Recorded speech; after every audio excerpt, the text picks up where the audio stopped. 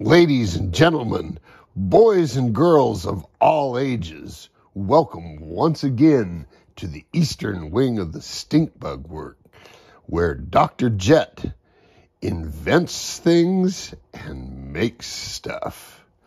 This morning, I have Fred.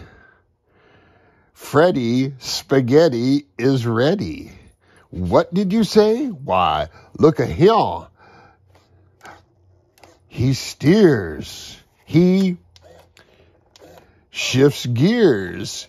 He has lights and a motor. Shazam! I think, I think,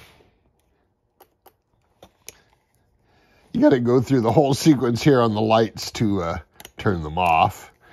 But it has several different modes. There's full on mode. This should be off. And looky in here, boys and girls. It's ready to rock and roll. I've got relays and all kinds of stuff. I've got flotation. I've got my 10 year old new Steve New batteries still work. They took a charge, no problem. I have steering. I have reverse. I have water cooling it's ready to rock and roll. And I packed this one full of flotation foam since if it fills up with water, who's going to rescue it? So I decided to put a little foam in it. But there we are, boys and girls.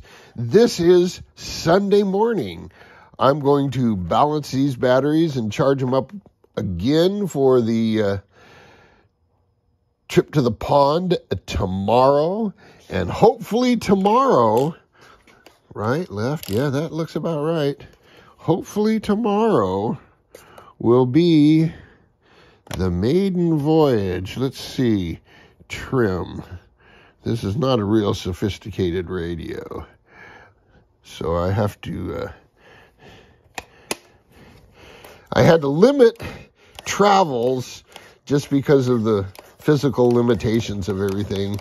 So this is going to be a one radio boat. Got this cool, really cheap six channel radio because I had to have channels, more channels for all the whiz bang features, and I'll uh, get the siren going. So I have some uh, foam on order that'll work for the uh, the leaf rake, the cow catcher, you got to make sure it's far enough away that when it rotates, it won't smack the boat. So it's going to have to be out here somewhere. But there you go, boys and girls. Until next time. Until next time, jet out.